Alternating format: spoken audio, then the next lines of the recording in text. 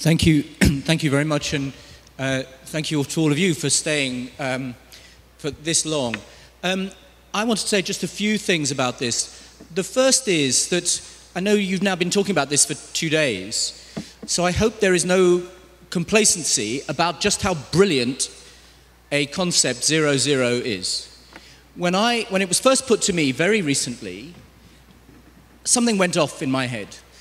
And the reason is, it's a, and let's be clear, this is a marketing device. This is a way of capturing the most important goals that the international community now has in front of it.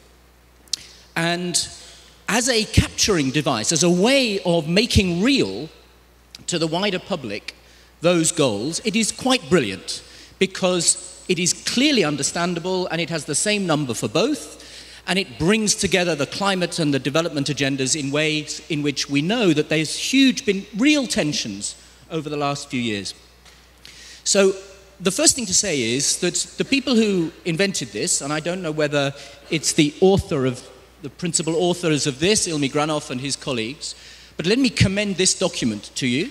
This is a really interesting analysis of the relationship between the two. So we've actually got two different things going on here.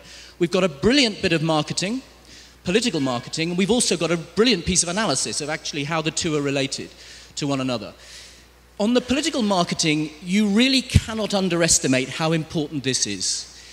At a COP, we see the international negotiation process at its most tortuous.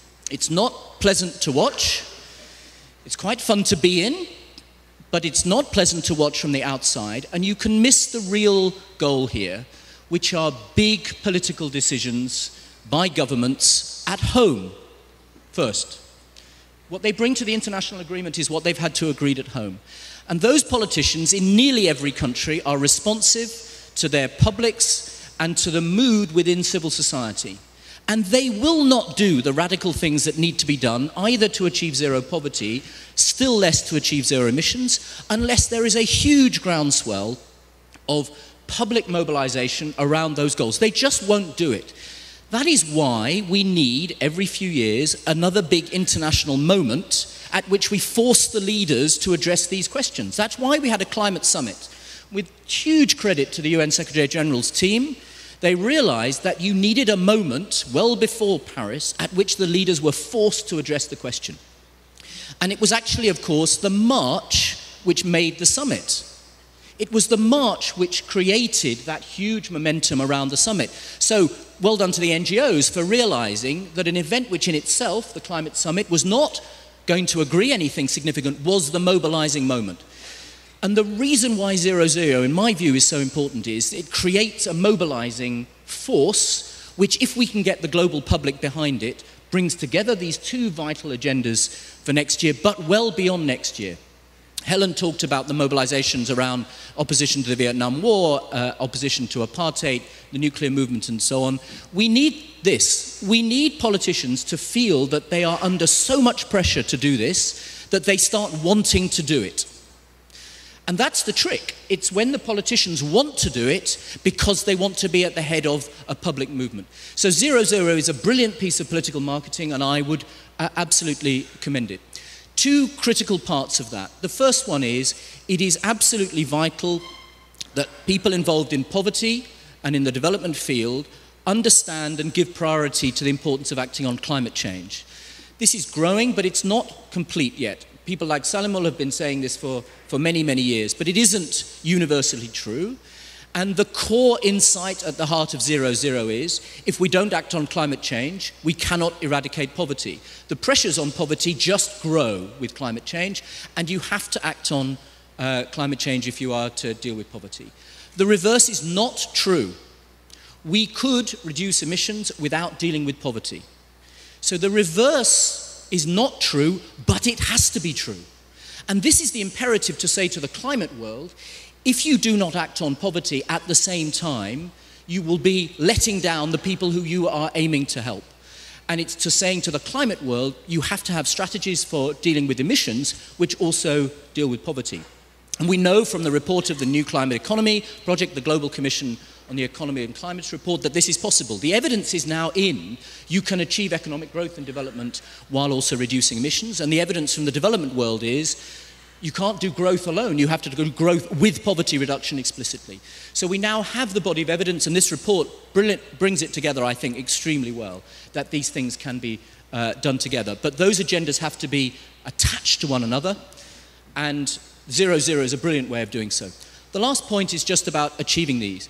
Zero poverty is now well within reach in terms of a goal through the SDGs. It belongs in the frame of SDGs. That's how beginning to be how the absolute poverty target is being framed.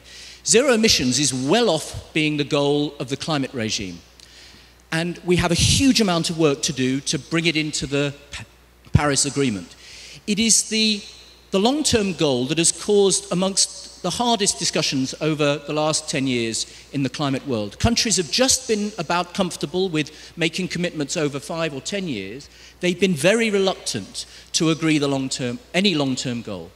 So don't underestimate the difficulty that we will have in getting this into a negotiated agreement, but also don't underestimate the immense power of doing so. Why do we need a long term goal? Not just because that is where emissions have to go, as Chris Field has said. There is no doubt about that. It's because the short term commitments that will accompany the Paris deal will not guarantee us two degrees. In fact, they will be well off a plausible trajectory for two degrees. And yet, we need the investors and the businesses who actually will make the decisions that will achieve two degrees to, be, to know that the world is heading in that direction.